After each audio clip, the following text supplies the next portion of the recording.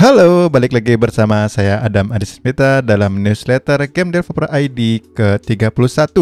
Nah, teman-teman mungkin ada yang kemarin sempat ke sini mikirnya ini berita tentang industri game dari sisi gamers, bukan ya teman-teman, ini dari sisi game developers.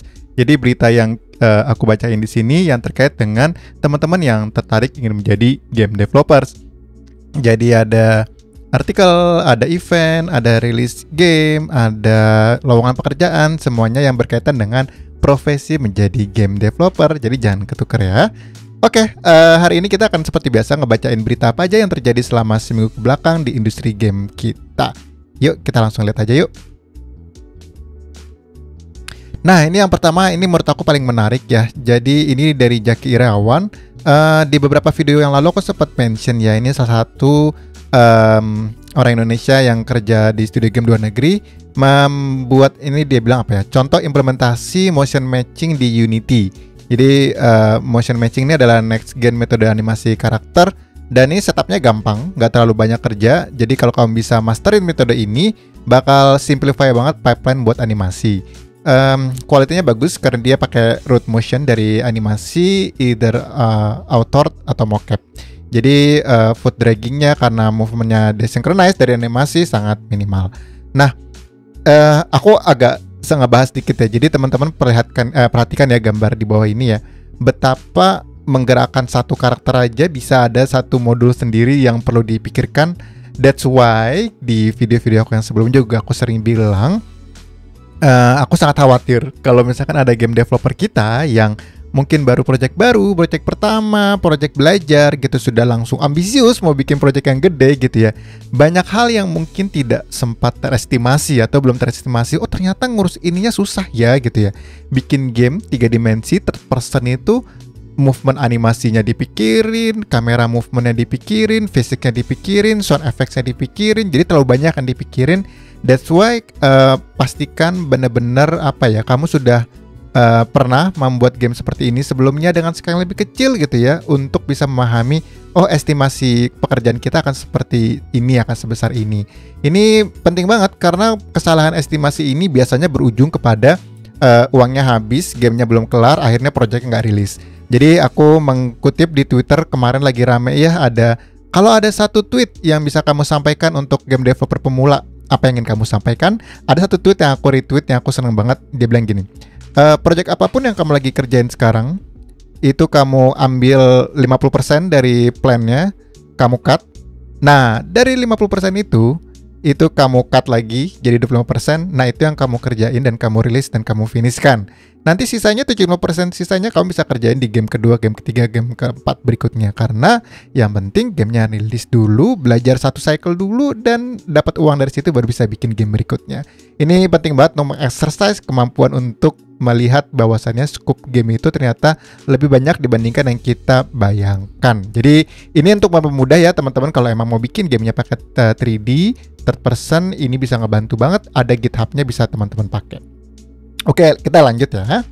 Next, um, ada artikel lagi. Ini dari Fadli Nur Afif. Ini dari Joyseed Game Tribe, salah satu game developer mobile di Indonesia yang cukup uh, sukses gitu ya. Membuat artikel tentang bagaimana sistem otomasi build membantu kami, kami ini Joyseed ya, rilis selalu hampir bersamaan di Android dan di iOS. Nah ini kayaknya juga ada beberapa kali kita bahas ya.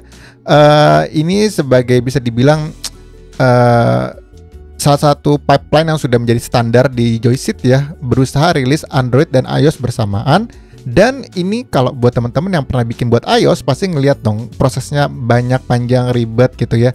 Nah ini dengan uh, artikel ini diceritakan bagaimana timnya membuat daily build, configurationnya, uh, dan banyak di sini. Ini sebenarnya artikel serial ya, udah banyak nih konfigurasi-konfigurasi yang di share sama Fadil. Kamu bisa baca di sini. Oke, okay, uh, eh, next kita ada uh, apa sih berikutnya? Oh, event. Nah, ini ada event, eventnya IGSI. Jadi kalau setiap minggu itu biasanya di, di Kamis ada skill tree dari Agi, di Jumat ada IGSI uh, eh, webinars. Nah, ini yang ngisi adalah kita lihat ya. Oke. Okay. Uh, Faris Afif programmer uh, dari games di Kayak Ing di Jepang. Ini dulu dia anak Bandung juga ya, game dev Bandung. Dulu main bareng, terus sekarang dia pindah ke Jepang. Nah, di sini ada pembahasan tentang workflow, pipeline, dan code review di game programming. Ini aku kelewat kemarin gak nonton sesinya, jadi kayaknya aku akan rerun lagi abis ini buat ngikutin apa sih yang dibahas di sini dan pasti seru banget. Oke, itu tadi event. Next berikutnya akan ada empat lowongan pekerjaan. Jadi teman-teman yang lagi mau cari kerja di industri game jangan khawatir karena lowongannya ada banyak dan terbuka untuk teman-teman semua. Yang pertama ini dari Axel Byte. Axel Byte ini membuka uh, lowongan untuk HR, Product Manager, Data Engineer, Full Stack Engineer, Engineer, Electron GS Engineer, Security Engineer, dan Game Network Engineer.